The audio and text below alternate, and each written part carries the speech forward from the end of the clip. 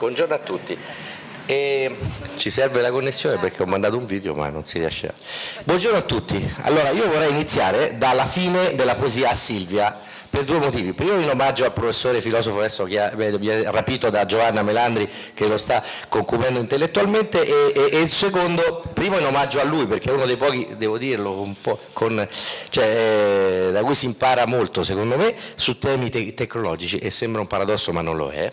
E, e secondo perché essendo io un poeta preferisco partire dalla poesia.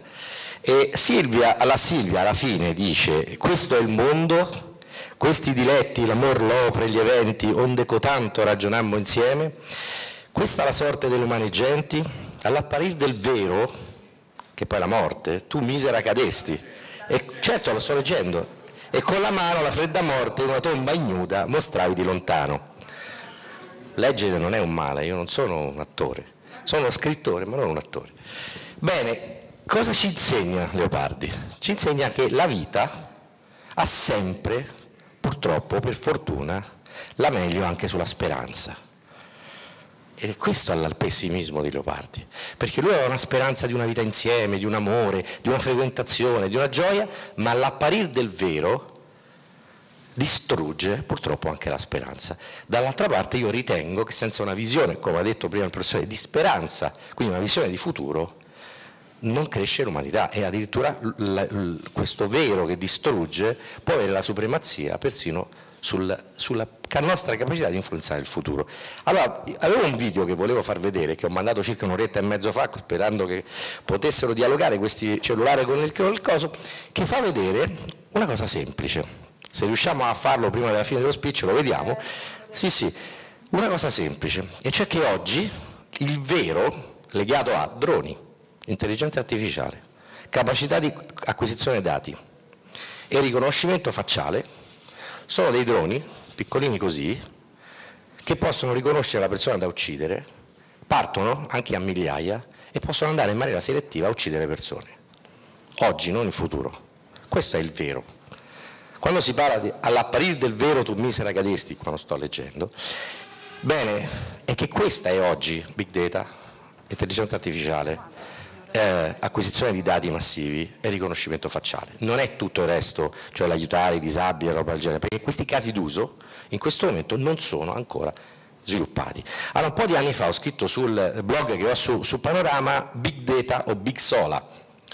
Big Sola non è un'espressione inglese, ma è un'espressione romana perché di big data prima si chiamavano eh, data warehouse, eh, eh, intellig eh, business intelligence, CRM analitico, ci sono stati vari nomi che si sono alternati nel tempo dai consulenti e da coloro che si occupavano di ICT per descrivere che cosa? L'acquisizione massiva di dati, la capacità di elaborare degli algoritmi e la capacità di utilizzarli per dei fini. Questa è in estrema sintesi la stessa roba da circa 15 anni, solo che la capacità elaborativa è aumentata e la velocità dei processori è aumentata, oggi si fanno cose che prima non si potevano fare, ma concettualmente, al netto di qualche variazione di algoritmi, ma che i matematici insegnano, non gli uomini di azienda, nemmeno gli statistici, che se qualche statistico si potrebbe arrabbiare, e bene, al netto di tutto ciò non è cambiato nulla negli ultimi 15 anni, ma sono, si sono spesi tanti soldi su questa roba, arricchendo molte società di software e di hardware, ma concretamente grossi benefici l'umanità non li ha avuti. Allora ritorna il tema del crearsi un modello di società che il professore ha accennato. Senza un modello di società non so nemmeno in che direzione utilizzare le tecnologie. La tecnologia è uno strumento, come ha detto, ed è anche abbastanza facile accederci oggi. Vi faccio degli esempi di casi d'uso, perché dovremo parlare di come utilizziamo i dati per l'azienda. Casi d'uso concreti. Allora, noi abbiamo dati relativi alle macchine. Oggi noi cambiamo la manutenzione delle macchine perché live abbiamo milioni di dati da queste macchine che ci dicono se quella singola macchina va fatta, sottoposta a manutenzione o no. Questo ci comporta il risparmio di tanti milioni di euro e soprattutto ci consente di intervenire prima nella manutenzione di una macchina che si sta per rompere perché ho un algoritmo predittivo che mi dice che si sta per rompere. Vi faccio un altro esempio di reale caso d'uso che in realtà non era scontato. In Israele utilizzano dei sensori, dei microfoni ultrasuoni e infrasuoni che consentono di capire se c'è qualche terrorista che sta scavando dei tunnel e sta entrando in Israele. Sensori a infrasuoni e ultrasuoni. Qualunque modello eh, Uno mi potrebbe dire, ma che c'entra questo con l'energia? Ecco, c'entra con l'Enel. Ecco, non c'entrava niente e tutti gli esperti al mondo di intelligenza artificiale e di big data stavano cercando di capire come fare dei modelli predittivi della rottura di una turbina idroelettrica. E tutti i modelli che utilizzavano, con studi fatti dalle principali università del mondo, non servivano a niente, perché non avevano predetto alcuna failure. Noi abbiamo preso i microfoni no, fatti dagli israeliani per prevenire l'attacco terroristico tramite scavi sotterranei con un paio di start-up che abbiamo trovato in Israele, abbiamo applicato questi microfoni alle turbine di generazione idroelettrica, abbiamo capito che ci sono degli algoritmi che possono predire la failure della turbina basati su suoni, infrasuoni e ultrasuoni, ma l'abbiamo fatto per un errore, perché avevamo combinato un appuntamento con delle persone che si occupavano di big data e sono venute le persone sbagliate. Cioè quelli che si occupavano di algoritmi per predittivi del felo delle turbine di generazione idroelettrica. Allora, nessun software di intelligenza artificiale può purtroppo essere in grado ancora di combinare cose che non sono inserite nel modello. La grandezza del cervello umano è che sbaglia, quindi il valore futuro nella creazione di nuovi posti di lavoro non starà secondo me nell'intelligenza artificiale ma nella umana capacità di sbagliare. Cioè noi avremo una società in cui formeremo le persone che gestiscono algoritmi di intelligenza artificiale, gestiscono robot che aiutano e si basano sull'intelligenza artificiale e faranno tutte le cose che sono prevedibili, gestibili e già previste e inseribili nel modello. Per cui il robot farà tutto quello che è razionale. Negli ultimi 200 anni abbiamo avuto una, una società che ha esaltato dall'illuminismo in poi la razionalità, che è banale perché può essere riprodotta da un computer, seppur con i limiti che ci ha spiegato Cingolani di capacità elaborative, cioè, però i computer faranno bene quello che noi abbiamo esaltato negli ultimi 200 anni, cioè la razionalità, il pensiero lineare, deduttivo e induttivo. L'errore, la capacità, come diceva Steve Jobs, di accostare matrici culturali diverse e punti completamente estranei. No? Lui raccontava che aveva imparato dal corso di calligrafia, non dal corso di ICT. Allora, la capacità di accostare matrici culturali estremamente diverse, che è la creatività così come definita da Arthur Koestler, la capacità di sbagliare, di commettere errori e di sognare, sono capacità che i computer non hanno, perché non hanno capacità di sognare, non hanno capacità di amare, non hanno capacità di desiderare. Prima il professore ha citato, grazie, lo vediamo dopo, così ancora meglio, grazie, prima ha citato speranza, desiderio e quella che io definisco fiducia. No?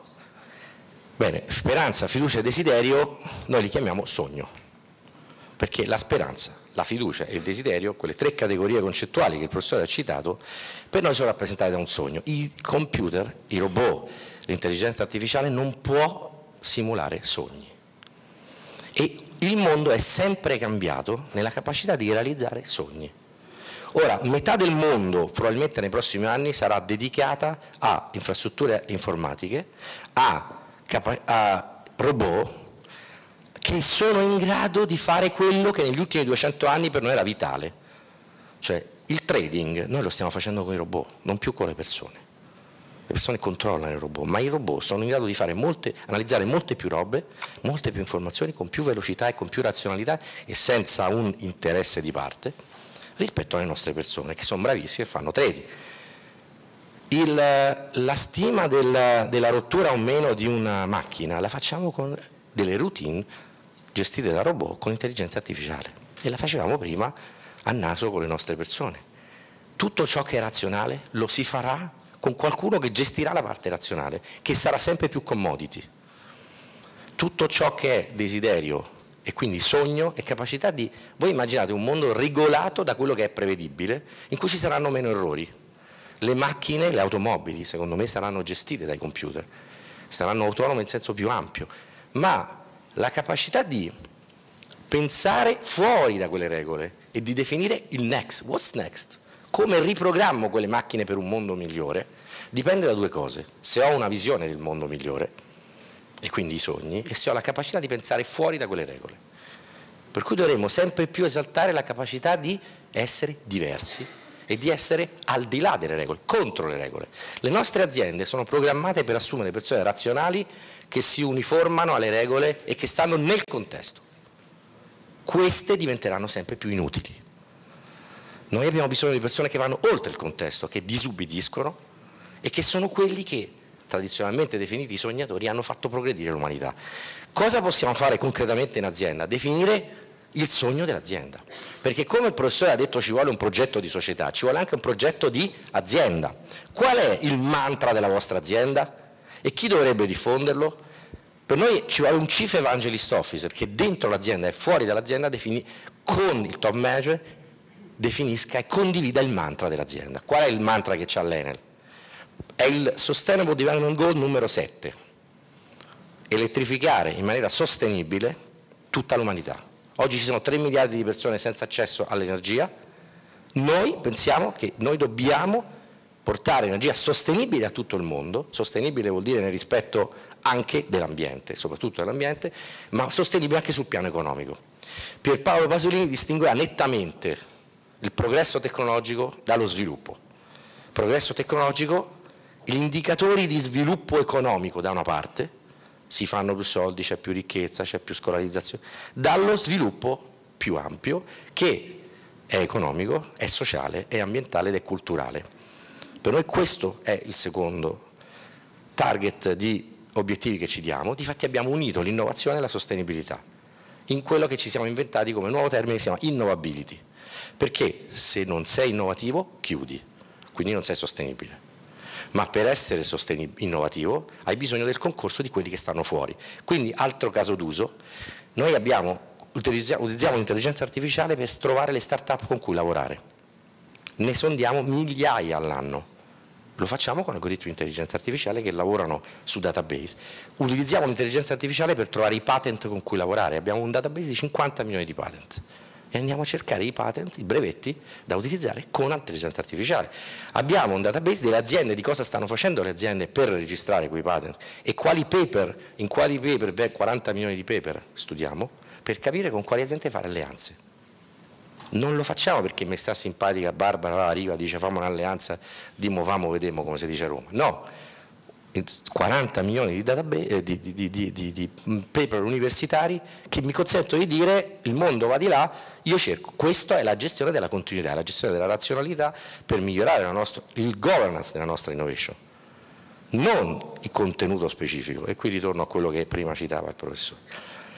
E io adesso vi lascerei mi ero segnato degli appunti prima proprio perché ho completamente rifatto lo speech, ho chiuso perché anche ci tengo a stare nei tempi, dicendo cosa? Che alla fine Ecco, guardiamoci questo, eh, scusa, eh, prima del video. Noi abbiamo la capacità di distinguerci da robot, intelligenza artificiale e il resto grazie a sogni e desideri. Dobbiamo alimentare la capacità di sognare in un mondo che negli ultimi 200 anni ci ha spinto a essere standard. Noi dobbiamo essere il contrario dello standard. C'è un bellissimo libro che è La democrazia in America di Alexis de Tocqueville che dice che l'omologazione del desiderio è il più grande crimine che una democrazia può commettere. No? Lui elogia la democrazia in America, ma ricorda anche che se ci omologhiamo nel desiderio di consumo o qualunque altro desiderio, noi rischiamo di essere tutti uguali, mentre la grandezza del modello di società che creeremo, a mio avviso, è correlata con la grandezza della diversità che nutriremo. Cosa non hanno i robot, a differenza dell'uomo? La libertà. Non possono decidere una cosa che non è nel set di dati che riescono ad acquisire e non possono decidere al di là delle regole che gli vengono imposte dal loro creatore, che è l'uomo. Noi invece abbiamo il segno della divinità dell'uomo, nell'essere liberi di andare al di là di quello che il creatore ci ha chiesto. E questa è la grande differenza che permarrà finché saremo umani. Grazie, vi lascio con questo video che ci fa riflettere sulla grande differenza tra la realtà di cos'è oggi Big Data, Artificial Intelligence e il riconoscimento facciale e droni e quello che si racconta nei convegni, che è la prima parte della Silvia. Grazie.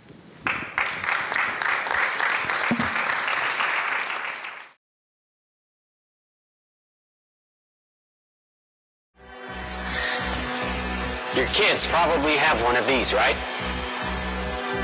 Not quite. Hell of a pilot? No.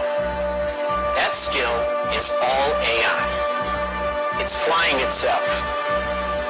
Its processor can react a hundred times faster than a human.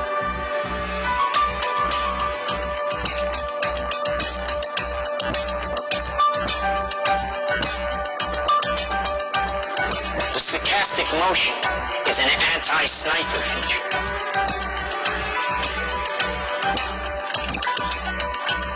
Just like any mobile device these days, it has cameras and sensors, and just like your phones and social media apps, it does facial recognition. Inside here is three grams of sheep explosive. This is how it works.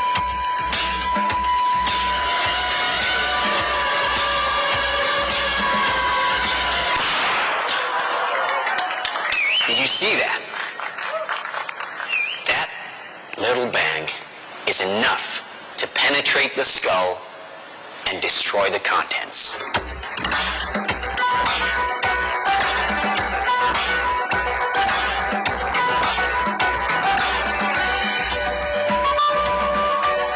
That is an airstrike of surgical precision.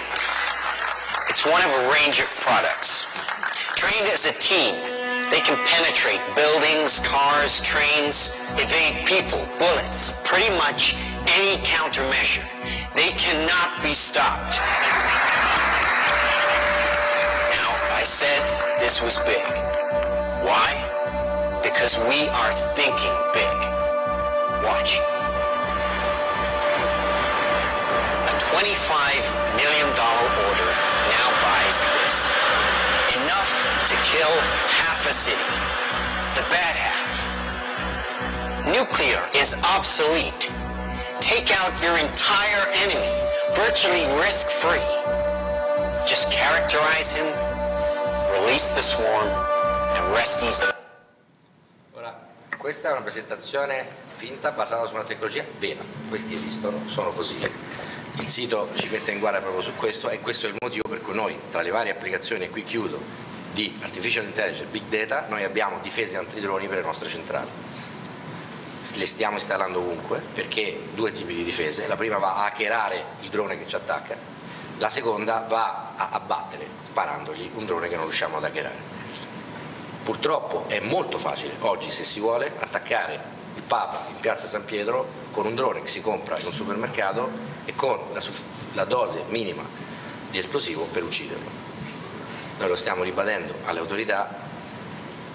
Un paio di mesi fa un drone si è fatto un giro su San Pietro, questa è vera, non vi sto dicendo uno scherzo, a un certo punto, siccome io porto i figli a scuola a via della conciliazione, un tipo che stava lì mi ha detto lei che è responsabile dell'innovazione, che facciamo? Gli ho detto che muoio da me. Dico, sicuramente non sparategli perché se è armato facciamo un casino, però non è che devo essere io. Allora, questa è la realtà, quindi nei convegni noi parliamo di un mondo bello, ma questa è quella che Leopardi definirebbe tu misera cadesti, quando hai visto la verità, no? in realtà all'apparire del vero tu misera cadesti, questo è il vero. Grazie.